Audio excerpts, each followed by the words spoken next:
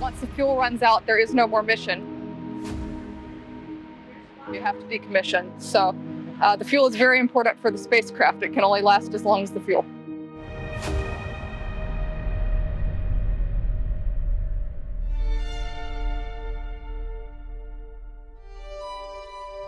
Telescopes like NASA's Nancy Grace Roman Space Telescope move and point using two methods. There are reaction wheels to turn the spacecraft with precision and then hold it steady. And then there are thrusters that use propellant for large motions to push the spacecraft into its correct orbit and maintain that orbit. All which require fuel.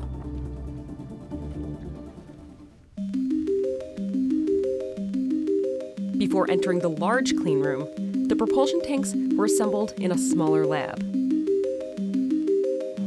So right now we're looking at the propulsion system for the Roman Space Telescope.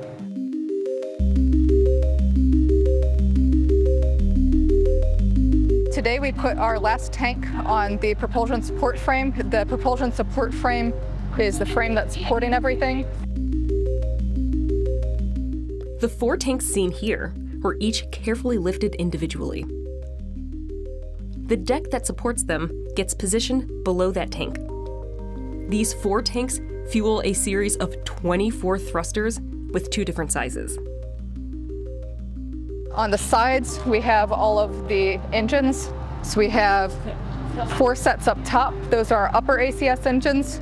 We have four sets at the bottom. Those are our lower ACS engines.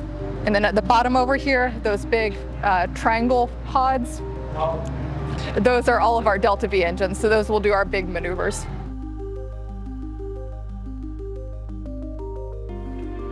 With the tanks in position, they're ready for integration into the telescope's spacecraft bus, which happens in NASA's largest clean room.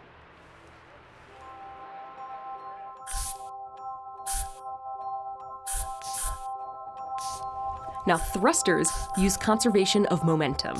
Ignited fuel creates expanding gas, which exits the engines in one direction, and the observatory moves in the opposite direction. The thrusters are so efficient in the vacuum of space that they can be surprisingly small to move the 18,000 pound spacecraft. This is all it needs.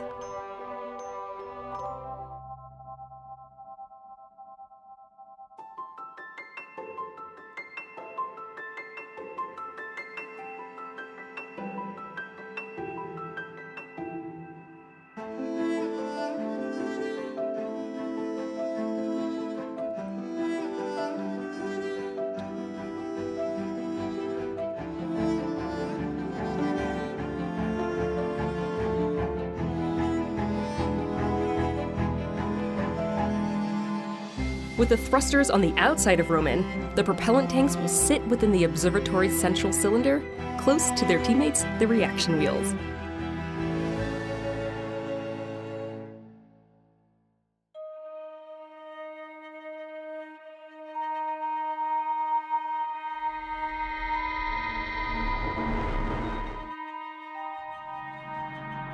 When the reaction wheels get to their maximum speed, they have to be slowed down again.